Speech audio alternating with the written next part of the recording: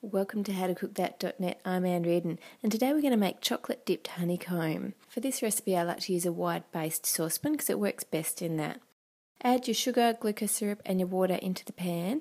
For all the recipe quantities, you can go to the website howtocookthat.net. Now, before you heat that up, you need to make sure that you have everything else ready to go. You need to have a heat proof bowl and line that with non stick baking paper.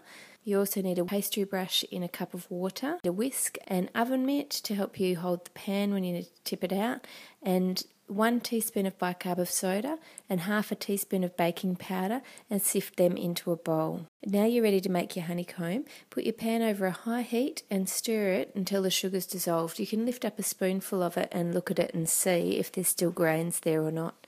Once it's completely dissolved, then take your pastry brush and wash down the sides of the pan. You need to do that so that any sugar granules on the side don't cause the honeycomb to crystallise and also so that they don't burn on the edges. Once you've done that, you just need to wait.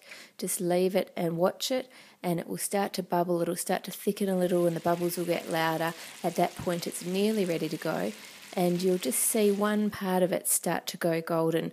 At that point, immediately get your whisk, just give it two stirs to evenly distribute the heat, sprinkle over your bicarb of soda and your baking powder. Three stirs with your whisk. You don't want to overmix it because you don't want to flatten all those bubbles.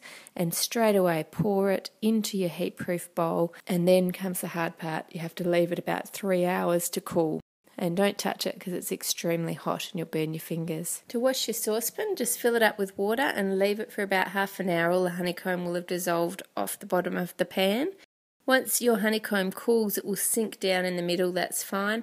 Then peel off any baking paper off the outside, turn it upside down and place it on a tray, and then just smash it into chunks about the size that you want them to be. Take each chunk, dip it in some tempered chocolate, and then place it on a tray to set. Once the chocolate's dried, then you can put it into an airtight container to store. If you like baking, make sure you give the thumbs up and subscribe to How to Cook That. There's a new video every week.